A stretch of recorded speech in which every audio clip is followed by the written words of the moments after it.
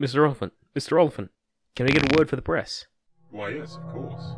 Recently, we have gotten news that you actually split an atom. Is this true? Why, yes, of course.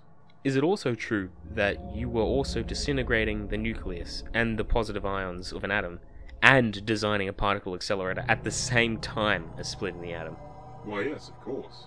Uh, Oliphant, can you say anything else? It's making the interview just a little bit boring, you know? Why, yes, of course. Uh, right. Okay then. Moving on. Aside from splitting the first atom, what do you consider to be your most noteworthy accomplishment in recent times? Well, I would say forcing the nuclei of heavy hydrogen to react and fuse together. I'm no physicist, but that sounds incredible. What do you think this could lead to in the future? War. Death. Suffering. A bomb that will leave humanity scarred. Oliphant, is is everything all right? I know what will happen. Sooner or later, someone will weaponize everything. I can see it happen before me.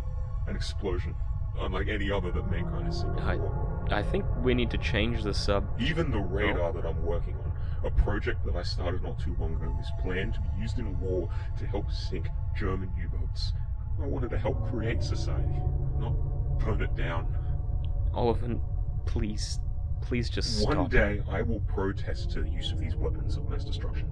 Some will listen, and I hope that the day comes when science will once again benefit humanity. But for now, I'm forced to live in these dark, dark times. This is really weird. I know, right? It's not normal. So, do we. What?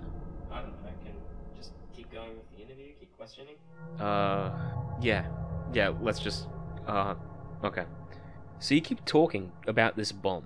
I've never heard of you working on a project like that before. Would you care to tell us a little bit about it? It will be called an atom bomb.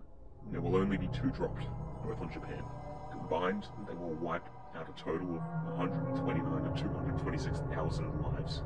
But before that happens, Before that happens, what? What do, what do you need to do? I need to end everything.